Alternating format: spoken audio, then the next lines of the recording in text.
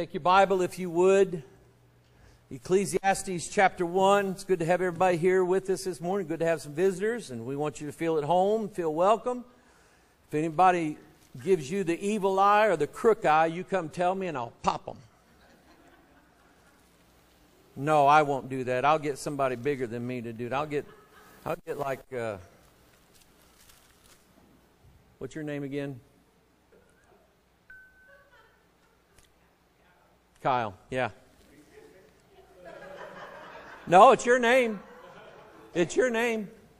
I'm not kidding you. Your parents gave you that name. I don't know why. Um, turn to Ecclesiastes chapter 1. No, we want you to feel at home, feel welcome. And uh, if God brings you back by this place again, then we want the same thing for you. The book of Ecclesiastes. Who wrote Ecclesiastes? Solomon did. If you want to, if you're ever in a good mood and want to be in a bad one, read Ecclesiastes. Yeah. Um, Solomon was the man. God gave him wisdom for sure.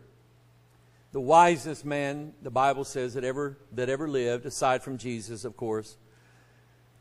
And the book of Ecclesiastes basically goes like this God gave Solomon wisdom, and he, would, he was king for 40 years. During that 40 year time, God let him retain all of his wisdom. And he writes Ecclesiastes at the end of his life. And he says this He says, I had everything that any man or any woman could ever want. I had women. We know the Bible says he had 700 wives and 300 concubines. That was just sleep partners. He'd snap his finger, clap his hands, or do whatever, and have one in bed with him. God allowed that. He said, I had wine, and he said, I had people playing music all the time around me. He said, I had chariots. I guess the 21 21st century version of that is cars. Probably had, probably had a dozen Teslas, a bunch of sports cars and stuff like that. He had servants. He had money. He had uh, nations around him because of his father David. They, they knew David was a fierce warrior and if you were going to go to battle against Israel, you were, you were basically wasting your time and you were going to get yourself killed. And so, because of uh, Solomon's father, David, the nations surrounding Israel, in fact, around the known world at that time, uh, came and brought presents to King Solomon as a peace offering, saying, "Hey, we're not going to mess with you. We know that there, we know that you have a God that is more powerful than ours, and we're not going to mess with you." So Solomon had he had gifts coming to him. He had, he had, I think the Bible said he had apes. Am I right on that? He, he, had, he had monkeys. And, uh, I mean, he had it all. And at the end of his life, he said, God, let me retain my wisdom. He said, I'm looking at my life like I'm looking at it from the outside in or the inside in. And he said, All of that that I had, when I die, I don't take any of it with me. Not even the apes. I take nothing with me. And he said, eh, with everything that I had, the thing that is going to happen to me is the same thing that happens to my servants. That's the same thing that happens to the poorest man that there is who has nothing. Is that we all are going to die and our body's going to turn to corruption and we'll have to stand before God one of these days. And so he said, vanity of vanities. All is vanity. He said, I had it all. Guys and ladies, everything that you could ever want, ever lust after, ever think you, boy, I got to have this in life or I just won't be happy. Solomon had it. God let him have it to teach us that having those things does not bring happiness. Serving God does. Being on God's good side brings happiness. It brings joy. Because I know when I die what's going to happen to me afterward. And I know that because I believe what God said in His Word. And I'm convinced of it. I'm persuaded to believe that God is able to keep that which I've committed unto him against that day. So in Ecclesiastes, Solomon shows us a little bit of that wisdom. And I've been preaching this now for a little while. Um, and I like it. Last Sunday, I really struggled. I don't know why. I was really down last Sunday, and I just don't like being that way, but uh, it happens every now and then. That's probably one of them cycles that I was in. And uh, it would have been great if somebody else, if a friend of mine that I know is a preacher would have walked in last Sunday and said, Brother Mike, I'd like to preach for you if you don't mind. I, I would have said, Take it. Take it. Uh, but this morning I feel a little bit better, and I appreciate everybody praying for me. But I want to tell you uh, something that's part of this cycle that we go in. So he says in Ecclesiastes chapter 1, verse 4 One generation passeth away, and another generation cometh, but the earth abideth forever. The sun also ariseth, and the sun goeth down and hasteth to his place where he arose. By the way, if you are uh, someone who is of a persuasion that you believe the earth is flat, verse 5 then is a lie. Because in the flat earth, the sun never goes down, it never comes up. It spins around in a straight line like this. That's their model. That's, that, that's their model. I didn't make this up. They made this up. And they never, they can never show how the sun goes down and how it rises up again. And yet I, I know there's at least a dozen or more verses in the Bible that say that exact same thing. It's almost like God knew that people would come up with something like that. Don't you believe that? Amen. The sun also arises, the sun goeth down and hastens to his place where he arose. That's a circuit. That's a cycle. And he said, The wind goeth toward the south and turneth about unto the north. It whirleth about continually, and the wind returneth again according to his circuits. That's a cycle. In verse 7 is how God, how God showed this to me. All the rivers run into the sea. I've said this like this. All the rivers in this area, the Meramec, the Joachim, uh, the Big River, all of those rivers, Plattin Creek, all of those rivers, they run into the Mississippi. And the Mississippi runs into the Gulf of Mexico. In the Gulf of Mexico, the water gets warm down there and it gets picked up by the wind and the sun in the form of humidity. That same water is brought back around in like a circle because the Gulf of Mexico is where we get our humidity out today. And it comes back around again over the Midwest and in the right circumstances, it, it turns into rain and falls back down on us again, like we had rain the other night. It comes back down on us, runs right back into the Plattin Creek or Joachim or whatever, Meramec, runs right back in the Mississippi River, goes right back down into the Gulf of Mexico. They say it takes about 90 days for water to go from Minnesota, where it starts, all the way down to the Gulf of Mexico. I think that's probably about right. Solomon knew that before anybody else knew it. Now, this is, this is your life. Your life will go in cycles. Not every day will you feel like you're a winner. Not every day will you feel like you're on top of the world. Those, those, those do not happen. And if you've listened to some bozo on television tell you that, he's lying through his teeth. He's lying to you to get money out of you. He's going to teach you that you can live in constant victory, and if you don't, it's your fault and that bad things don't have to happen to you, which means you never get sick and you never run out of money and you always have more than what you need, and all of those lies that they tell you, and people try that stuff, and then when it doesn't happen, and they go broke or they get sick and they're about to die, they get mad at God over it. Well, God didn't say that. The bozos on the on the TV said that or on the YouTube or whatever. They're the ones that said that, but God didn't say it. God teaches us that everything in our life goes in a cycle. So all the rivers, verse 7, run into the sea, yet the sea is not full. Unto the place from whence the rivers come, thither they return again. And look at verse 9. The thing that hath been, it is that which shall be. And that which is done is that which shall be done. And there is no new thing under the sun. Now, if you were to ask me this morning, uh, Pastor Mike, has Sister Sweetie Pie, your wife, Lisa, has she ever been mad at you? Yeah. Ask me if uh, she got over it Yeah, a while. And then asked me, Did she get mad at you all over again? Yeah. Why are you asking me these things? It goes in cycles. Everything in my life goes in cycles. Lisa and I have our good days, we have rough days. We've learned 37 years to get through them, pray through them, kind of walk away from them, and then when things are better, enjoy one another. And that happens to every relationship. In the case of someone who is already born again, uh, turn to Genesis chapter 1 now. That's what's up on the screen. We're on day 5 of creation. To a person who is saved,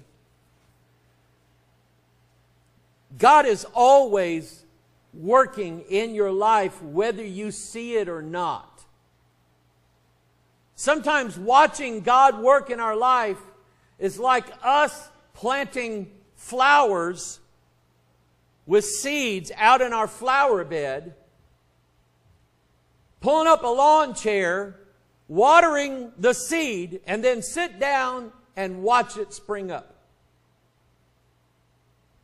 How long is it going to take before you ever start to see a little seedling coming up out of the ground? Days. That's, that's like watching how God works in our lives sometimes. If you want to sit and watch, I mean, Solomon took him 40 years to figure all of this out. But God showed it to him after about 40 years of his life. God showed it to him, and now we, we can read it for ourselves. Choice is, do you got to believe it or not? And so in our lives, we're going to have days where it looks like God is doing nothing for us, nothing with us, nothing through us, and nothing to us other than us being down in the dumps, and sometimes we blame God for it. And sometimes maybe God is the one that rolled you down in the dumps. So that when He pulled you out of there, He got the praise, the glory, the credit, the thanks, the amens, the hallelujahs, the praise the Lord's, the buenas, the fiways, all of those things. God gets all of those things and we don't take the credit for our own success anymore. Amen. So now we went through the days of creation to show you how God works in a cycle in our life. Day one, we're, we're, we're made, but we're without form and void, and every, we don't know anything. And God just barely has, has started the work in our life. And if you're not saved, I'm showing you how God is going to save you, if God is going to save you. Some people ask God, this may be too much for today, I don't know, but God, for whatever reason, doesn't offer it. God said, I will be merciful unto who I, I will give mercy to whom I give mercy. I will forgive who I forgive. And it's up to God. But anyway, when God works in your life, day one, God creates you. God shows you the light. Day two, God divides the, the, the, the, everything up here from everything down here to show you that you're not God. You're not involved. You're not the boss of your own life. There is something that is higher than you, and it is God. You're not God, but God is God. Day three, God planted the seed of the Word of God in your life. Somebody quoted a scripture, or you read a scripture on Facebook or TikTok or something like that, and God planted the Word of God in your life. Maybe like John 3.16, for God so loved the world that he gave his only begotten Son, that whosoever believed in him should not perish, but have everlasting life. Maybe it was that. Maybe it's some other verse. And then day four, now God gives us, shows us the difference in the lights. God created the sun on day four. God created the moon and the stars uh, on day four. And God gave us the greater light to rule over the day, which is the sun, the lesser light to rule over the night or the darkness. And the question that I was asking last Sunday was, would you rather live in the darkness or would you rather live in the light? Only you can make that decision. And if you are a child of the light, then you won't mind if God turns the light on to make you aware of things that are wrong in your life. Amen. It won't bother you at all. It won't make you mad if I preach something and you think that maybe your wife told on you. That's how I knew how to preach on it. And uh, you're, you're now you're mad at me and you're mad at your wife and you're just upset at the whole thing and you and you think that I'm trying to get to you. No, that was just God showing you the light. And if you want to be a child of the light, it won't bother you. We need more. Hey, I, am one of these. I think we need more light on our government. Amen. Day five. Let me show you what God's got to do. Genesis chapter 1, verse 20. And God said, Let the waters bring forth abundantly the moving creature that hath life. We call them fish. On day five, God created fishing. Amen? God created fishing and has ruined marriages all over the world since then. Uh, God created fish and then fowl that may fly above the earth in the open firmament of heaven. So on day five, everything that's under the water, God created. Everything that's up in the sky, God created. Those two things. And he says in verse 21 and God created great whales and every living creature. Now, I am, I'm going to ask the question why did God bring up whales in this verse? I mean, we already know that they are in the water, so we would just assume, and assume correctly, that God would have created them on day five because they are in the water. And God created everything in the water on day five. Why did he go out of his way to mention whales? Is there a story in the Bible? I didn't ask for you to say something. Now you ruined my whole message. I'm going home now. It, there is a story in the Bible that has a whale in it and I promise you, it has everything to do with why it's in this verse, why God mentioned it. God created great whales and every living creature that moveth, which the waters brought forth abundantly after their kind, and every winged fowl. By the way, that's also when God created fried chicken. Thank you, God. Amen. It's in the Baptist Creed that you got to eat fried chicken. Amen every winged fowl after his kind, and God saw that it was good. Verse 22, and God blessed them, saying, Be fruitful and multiply, and fill the waters in the seas, and let fowl multiply in the earth. And the evening and the morning were the fifth day. Now, I've got a note here, and I want you to remember it. I, you know, I don't give you Hebrew and Greek lessons too often, but this one really has my attention and has everything to do with what I'm going to show you today of what day five represents. The word whales here, the Hebrew word is tanin. That's how you pronounce it. It looks like tannin, but it's pronounced tanin. Okay? Write that down. Just make a note of it in your mind. We're going to come back to this. What is a tanin, and what did God mean when He put that there in that verse? It has everything to do with what I'm going to show you. Let's pray. Father, we ask your blessings now upon this message. Thank you, God, for it. Thank you, God, for bringing us all into your house. We love you. Help us to love one another. Help us to love your word. We pray in Jesus' name. And all of God's people said, Amen. Now, uh, turn to Genesis 5. I've got to show you everything that God has done follows an order. And as some of you know, I study the numbers in the Bible. They're there for a reason. Uh, if I were to ask you what's the most significant number in the whole Bible, what would you say? Seven. Everybody says seven, and it is. It's probably, it's probably the most significant one in the Bible. There are seven spirits of God. Seven is the number for perfection. There's seven days in a week. The seventh day is the Sabbath day. It's the rest day. Um, the the high priest was to sprinkle the blood that was on the hyssop. He was to sprinkle it on the Ark of the Covenant seven times. That showed it that it was complete, that their salvation was atoned for and it was done with, and everything like that. The words of the Lord are pure words as silver tried in the furnace of earth, purified seven times. God said in, uh, in uh, Psalm chapter 12. So everybody knows that the number seven is significant. The number six, what, what would you say about the number six? the beast 666 revelation chapter 13 that's there okay and it, and it means something what about what about the number five well let's take a look at this this is genesis 5 and i want you to notice something i notice that i have the, the word adam underlined here this is the book of the generations of adam in the day that god created man in the likeness of god made he him male and female created he them and blessed them and called their name adam it was Mr. Adam and Mrs. Adam. Did you know that that's why the woman takes the last name of the husband? It goes all the way, that's first, the first marriage. That's how it was. It was Mr. and Mrs.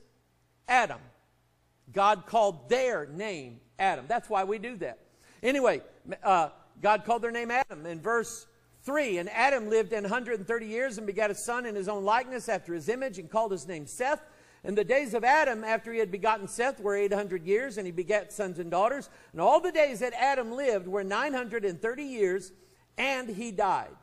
Now, count with me up here. This is Genesis 5. We got five verses here, and we see Adam. One, two, three, four, five. He's mentioned five times here, and the fifth time he's mentioned, he dies. Now, we're, we're not going to go through the whole chapter, but I've kind of highlighted the point. This is a genealogy in Genesis 5. And when Seth became the, the son of Adam, Seth is mentioned five times in, in verse 8, and he died. Same with his son Enos. All the days of Enos were 905 years, and he died. That's the fifth time he was mentioned. All the days of Cainan were 910 years, and he died. Fifth time again. Verse 17, all the days of Mahalalel were 890 and five years, and he died. Fifth time his name is mentioned. Genesis 5.20, all the days of Jared were 960 and two years, and he died. Genesis 5.27, all the days of Methuselah, who was what? What's he known for? Oldest man in the Bible. But didn't he die too? All the days of Methuselah were 969 years, and he died. Fifth time he's mentioned. All the days of Lamech were 770 and seven years, and he died. Fifth time Lamech is mentioned. The only two names in the genealogy of Adam, going from Adam to Noah, the only two exclusions are Enoch and Noah. The fifth time Enoch is named is mentioned, it doesn't say he died.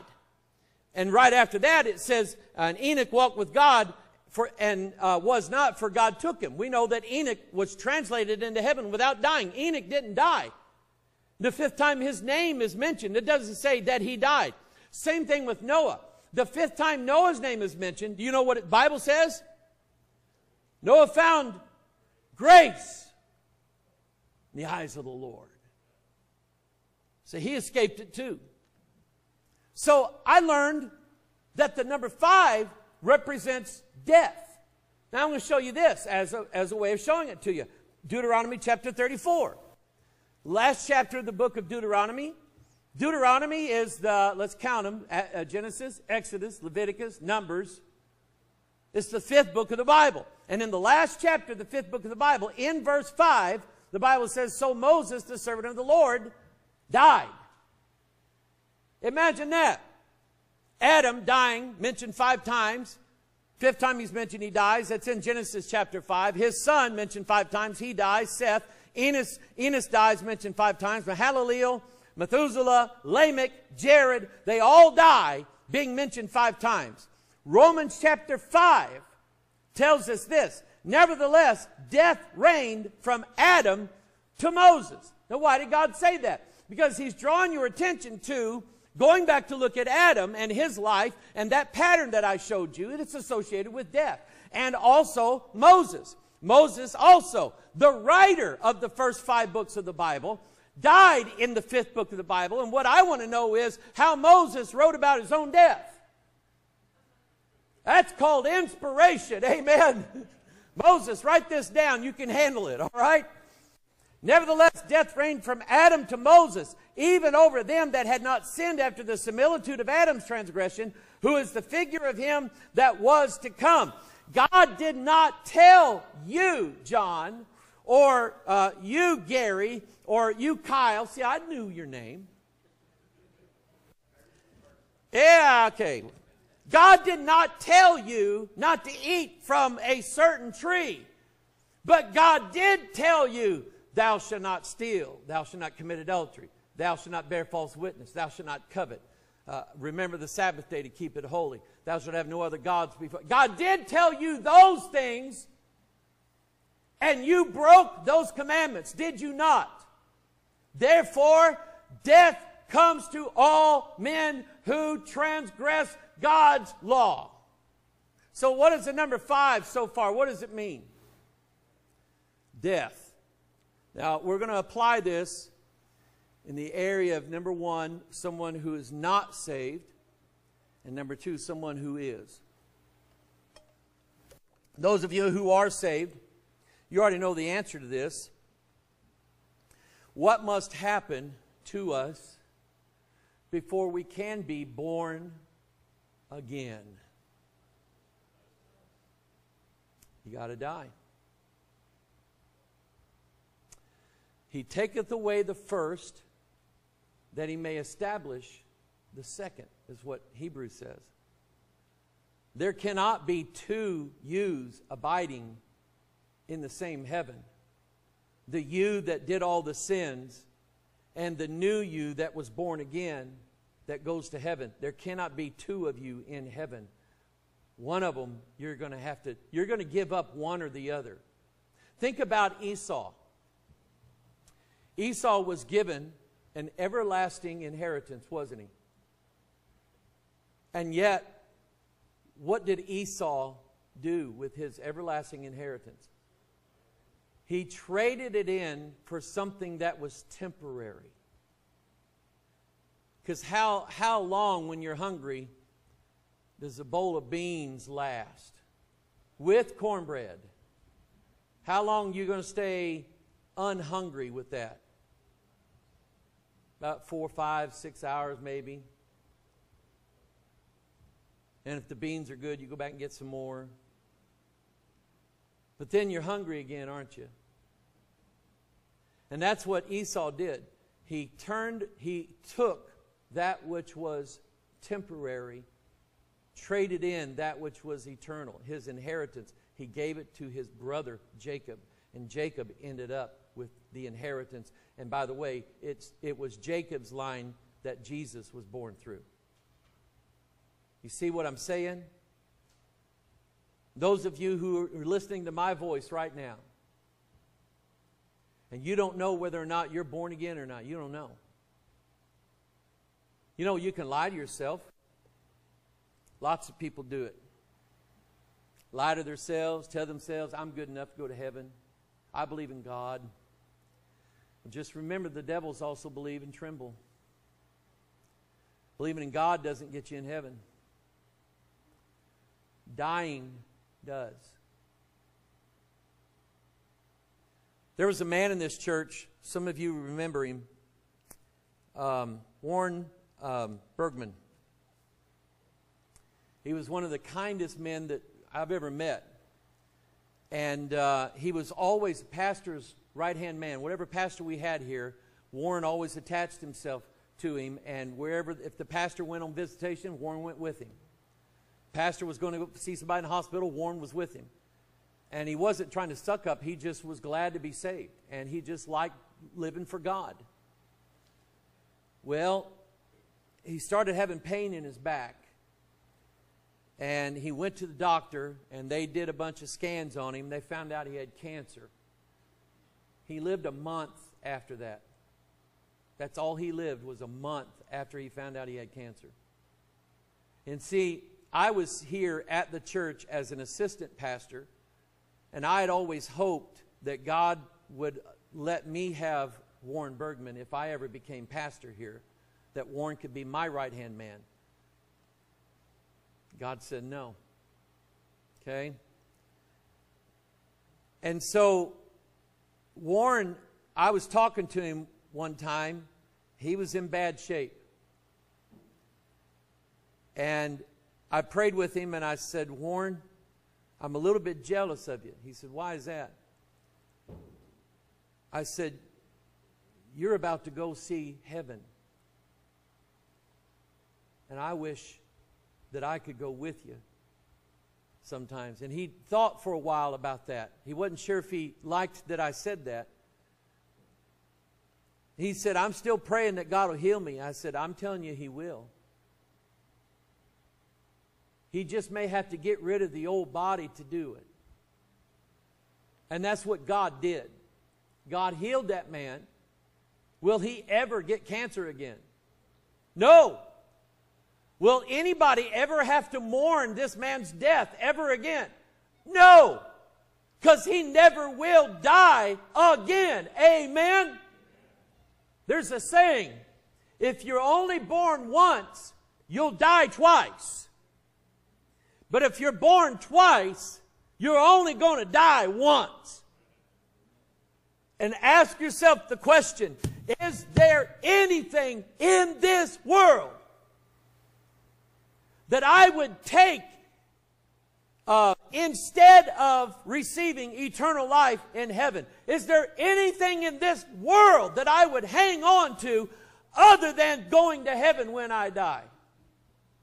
If the answer is there's nothing that I want more than going to heaven, then you're on the right path, my friend. But you've got to let go. We have a story that uh, our Meemaw, my dad's mom, she found out she had cancer. I think she knew, just didn't tell nobody. She gets real sick has to go in the hospital. They open her up to see how bad it is. They closed her back up. It was too bad. And she hung around in that hospital bed for I don't know how long. And finally, they took my peepaw over there to the hospital. And he said, Dorothy, you go home now. You go home now. I'll be with you shortly. She died that afternoon. You know what I think? I think she had to let go.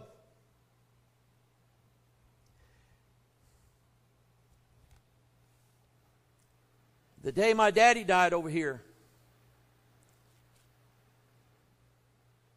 they, they kept resuscitating him.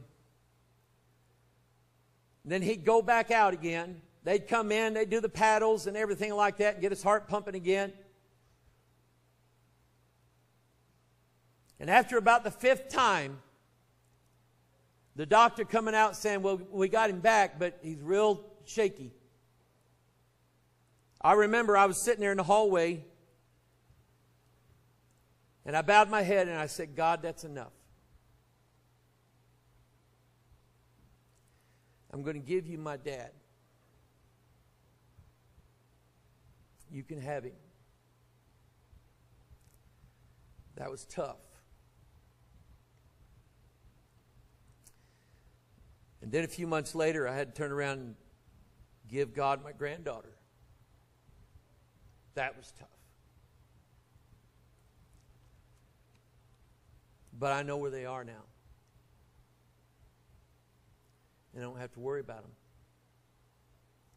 In fact, the day before I preached my granddaughter's funeral,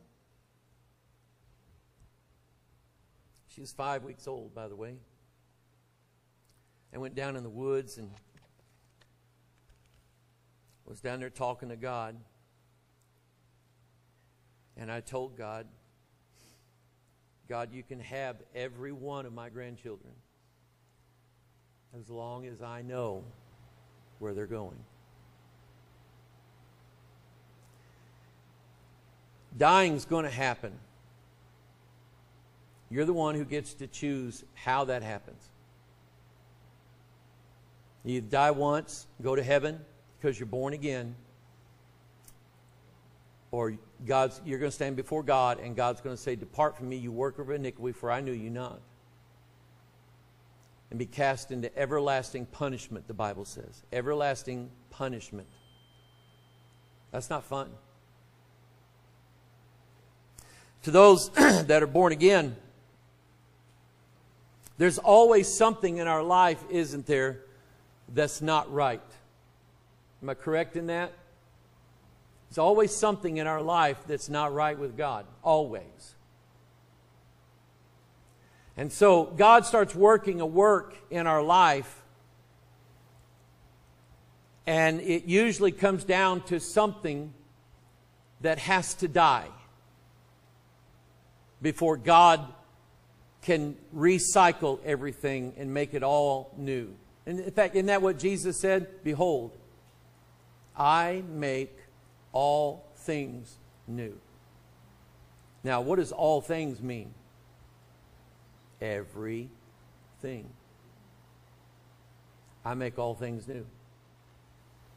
Our problem usually is we don't want to give up what it takes in order for God to do something brand new in our life. We don't want to give it up. But I'm here to tell you it's got to die.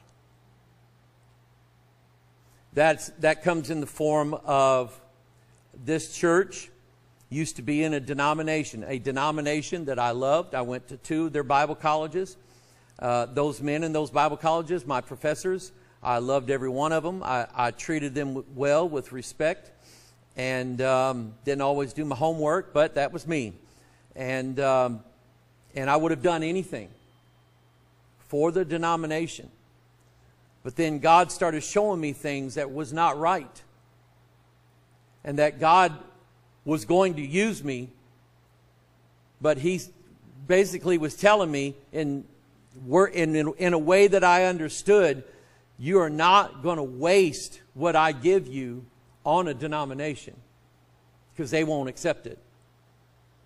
So God had to kill my old denomination and what I was attached to. God had to kill that in me before He could give me what He really wanted me to have. And I'm thankful for that because I have something that's far greater than anything that I could have ever done inside of a denomination. Far greater than that. If, if we saved one person's life last week when we did a feeding, that is far greater than anything I could have done or this church could have done in the denomination. God had to kill it for us before we would accept what God was going to replace it with. And I promise you, God's always got a replacement. You know, you know we tell the widows here? We tell them, don't worry. We know you loved your husband. He was a good man. But we kind of think that God's better than your old husband was. And when you lean on God, you don't have to worry about when he's going to get up and do it. Amen. Amen. Now, let me show you something. I got to get back to this. Ephesians 2 1. You hath he quickened Quickened means made alive. You hath he quickened who were dead in trespasses and sins. Means that if you're a sinner right now, not saved, you're already dead. You're already dead. You're going to be judged. You're going to be found guilty. You're going to be cast into the lake of fire. That is God's written down promise in the Word of God, book of Revelation. That is exactly what's going to happen. Whosoever name was not found written in the book of life was cast into the lake of fire. Revelation, what is that? Revelation 2015. I remember that from being in seventh grade, I think. Ephesians chapter 2 verse 5, even when we were dead in sins, hath quickened us together with Christ by grace, ye are saved. And see, you don't do anything to deserve it or earn it. It's just something that God wants to give to you. But what you don't understand and what we don't understand is we're afraid to let go of what we have now. But that's where the trusting God part comes in. Got to let go. Got to let go. I've been through it. You've been through it. You know exactly what I'm talking about. Doesn't matter. Doesn't matter if it's like personal issues that are related to like sins, or if it's a, a situation in a marriage, or if, if it's uh, like something at work and uh, you see things going on at work and you, you can't be a part of it and uh, but you're afraid to let go because i mean that's your employment and everything like that and finally god finally god just takes it away from you but he gives you something way better than what you ever had before. I mean that's just it is i'm telling you it's the cyclical work of god so then oh here we go now look at this that's a pretty good picture of a whale isn't it Jonah chapter 1. In fact, turn your Bible there. I want you to turn this in your Bible. I want you to underline it. I want you to see it. I want you to see it. You used to have people say, oh, the Bible never said it was a whale. It said it was a fish. Yeah, it does say it was a whale. You just didn't read the whole Bible. Jonah chapter 1, verse 17. Now, the, the scientists of the world, the marine biologists, they all say the same thing. There is no species of whale that has the capacity to allow a human being to survive for three days inside of its belly. Therefore, we do not believe the story of Jonah and the whale the way the Bible puts it. We believe that is a fable or an ancient myth that was tossed into the Bible. Well, Mr. Egghead scientist, you just didn't read the thing. Look at what it says in verse 17. Now, the Lord had prepared a great fish to swallow up Jonah.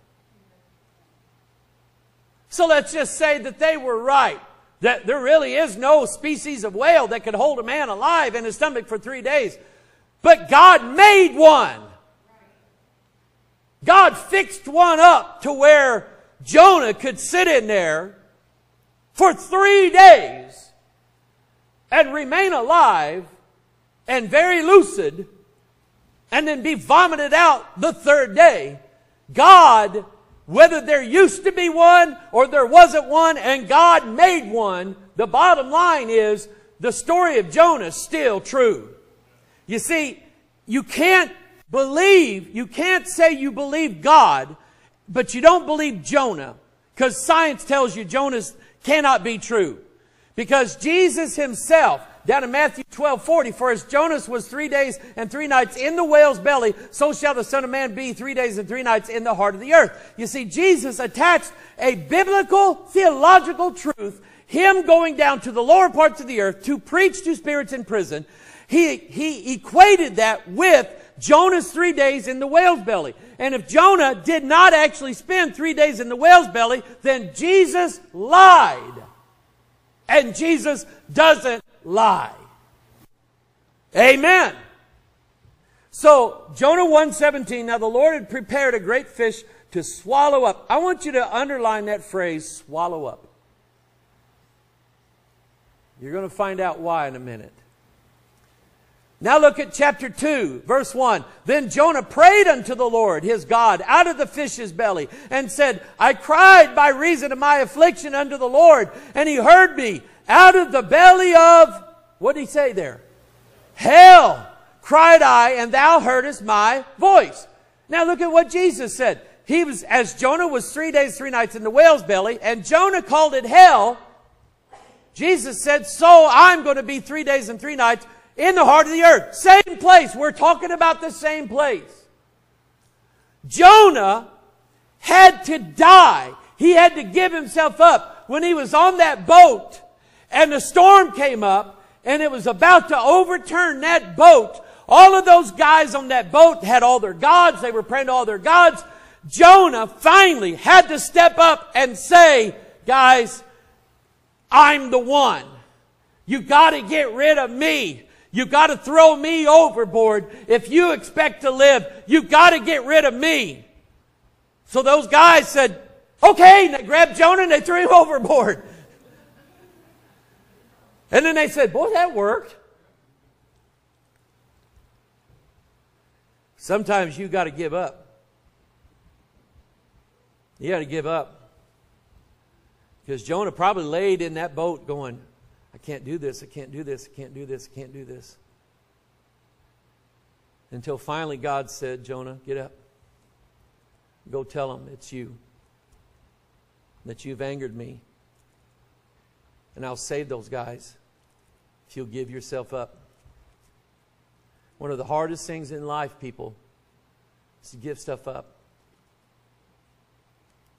To give, to give people up. To give relationships up. To give jobs up. But if God means for you to have something better, you got to trust Him in that. Now, what was that word I told you to learn? Tanin. Tanin. So here is um, Blue Letter Bible. I, I like to go there, and it gives you the Strong's Concordance place of every word in the King James Bible. So that word tanin is actually translated as dragon 21 times, whale three times, serpent three times. The whale was in, the whale translation was in Genesis chapter 1, where he said he made great whales. That word was tanin. But look at the other, look at what it means. Dragon, serpent, sea monster, dragon or dinosaur. I mean, if we believe the earth is 6,000 years old, the people who lived back then didn't know the word dinosaur. What did they call them? They called them dragons. And you see dragons all through the Bible. And if dragons are a myth, then the Bible is a lie, and the Bible's not a lie. The Bible is telling you the truth. There were dragons back in there. There was a behemoth. There was a Leviathan that God talked about to Job. He talked about the behemoth being humongous and having a tail like a cedar. And, the and the, the, uh, the stupid theologians say that's probably a hippopotamus. Have you ever seen a hippopotamus tail? It's about that long. And all it does is clean its bottom after it doo-doos. Wouldn't that be handy if God gave us one of those? Amen. But he wasn't describing a hippopotamus. He was describing something that had a, that had a tail as big as a cedar. And Job knew what God was talking about. So, see that picture I got there? You know what that's from? Turn to Exodus 7.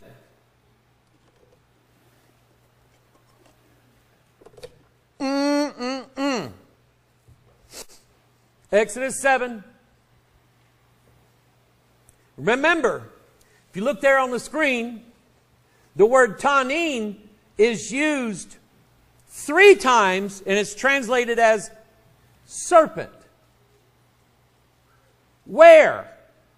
Exodus 7, verse 10. And Moses and Aaron went in unto Pharaoh, and they did so as the Lord had commanded.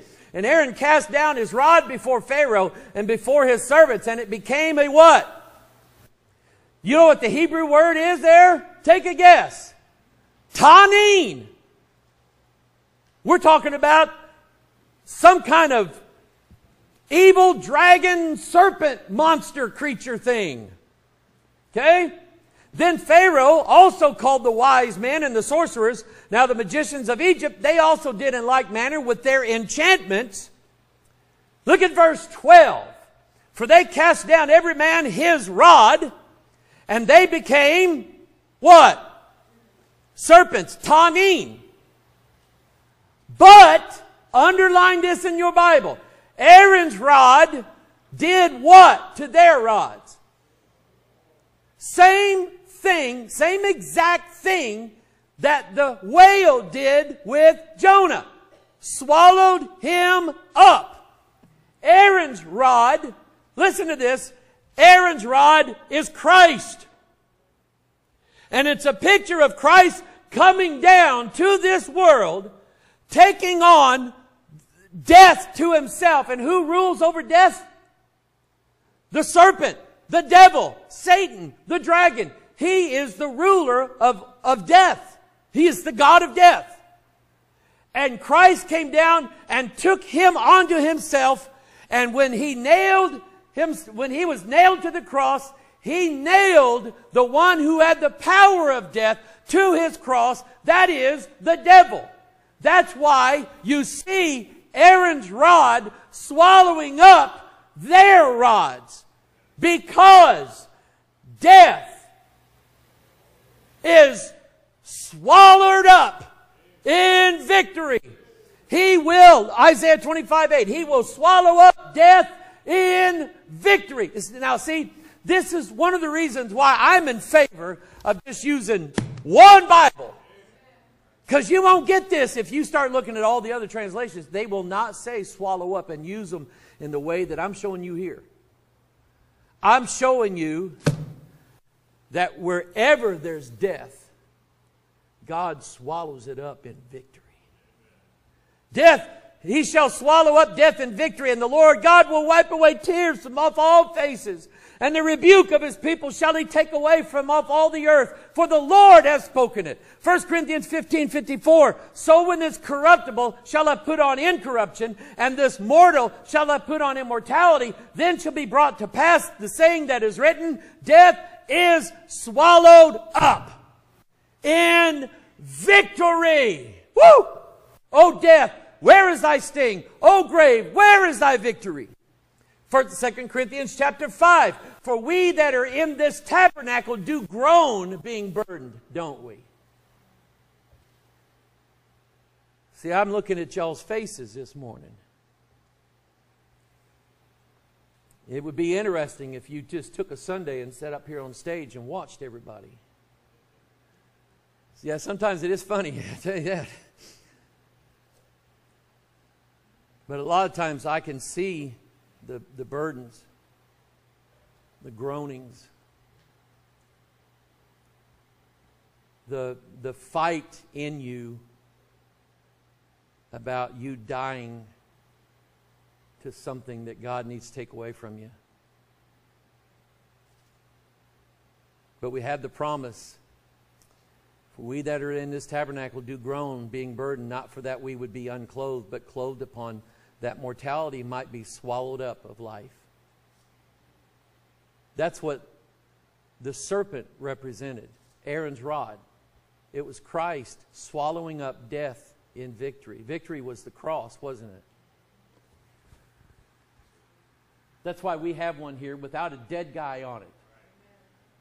There's no dead guy on a cross anymore, is there? Just a cross, an empty one. And what that represents is our Savior died, but he got over it. He swallowed up death in victory. Jonah's whale is death swallowing up death in victory. So that when Jonah, now watch this. The old Jonah did not want to go to Nineveh, did he? What did the new Jonah do? Went to Nineveh. And what did God do with Nineveh? He spared them. They believed, the king himself believed what Jonah was saying, and he declared a fast, and he said, if, if I catch anybody inside Nineveh not fasting, not in sackcloth, not with ashes on their head, I'm going to kill them. This is God talking. We better take him seriously, or we're all going to be dead. And revival broke out. An entire fenced, walled city got saved the day the new Jonah was born. Now you let that put doodads all up and down your back because that's oh that's that's what I got going now. I'm telling you, letting it die is a lot better because then God can replace it with what He was going to replace it with. I can stand here and tell you story after story after story of how that's been done in my life. That map out there outside the wall of the bathroom, those two maps out there are just a part of it.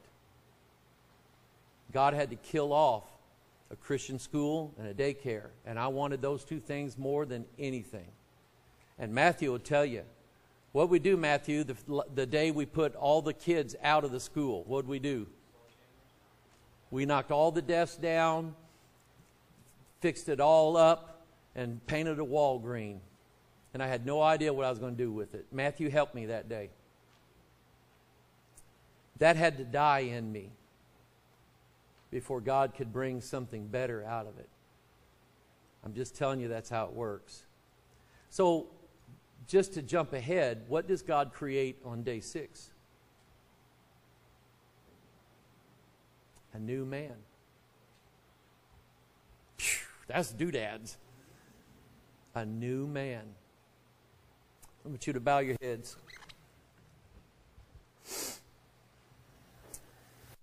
What is there that you haven't given up?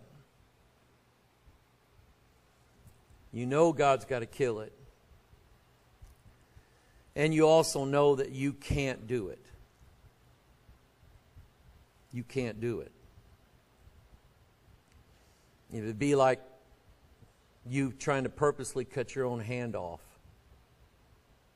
You just really can't bring yourself to do it. Sterling could not have operated on himself. So, a doctor, he had to trust a doctor to do it for him.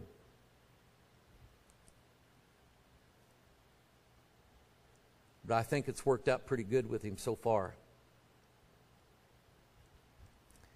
And whatever it is, if you're, if you're listening to me right now and you are not saved, behold, today is the day of salvation, the Bible says.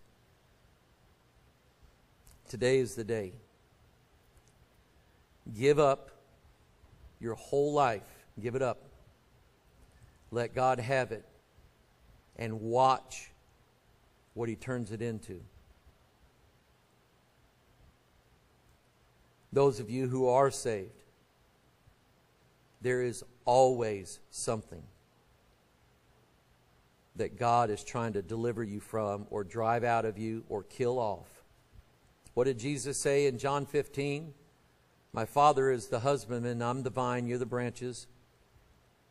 My Father always purges the vine to take off the unfruitful parts of our life because they're eating up all of the nourishment that we would get from the vine, Christ. And he takes those things and he casts them into the fire, and they never grow back again.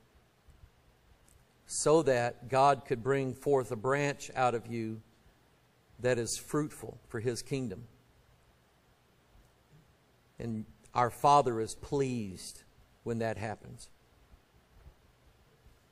So I want you to consider the Word of God that's been preached this morning. And if you need to, I'm going to ask you to come down to one of these benches down here and have a time of prayer. If God's leading you to do it, the things that God wants to drive out of your life, let Him drive out of your life.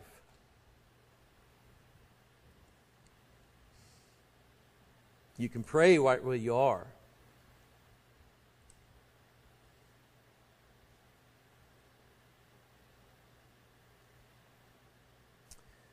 This morning, as we pray, you go to God. And I almost guarantee you there's something in your mind right now that you know you don't belong there. And you ask God, God, take it away. I must die so that I can live. Our Father in heaven, we come before you this day. We ask you, Lord, for your help for these people, Lord, that have gathered here today. Lord, there's always something in my life. I know there is. There's always something that I need to be delivered from, that I need to walk away from, that needs to die off of me. It's always something. And God, I don't have the ability to do it. You have to do it for me. And Father, help us, dear God, so that our heart takes over and our heart will help us make the decision to tell you, God, go ahead and do it. Go ahead and do it, God. Father, we need your help. We ask you, God, Lord, that what you take away from us, Father, we ask you, Father, to give us grace and give us something better than what we held, held on to, what we had. Father, I ask you to bless those, Lord, who call upon you and call upon your name this morning. In Jesus' name. And all of God's people said, Amen. Let's stand to our feet. Thank you for coming to God's house this morning.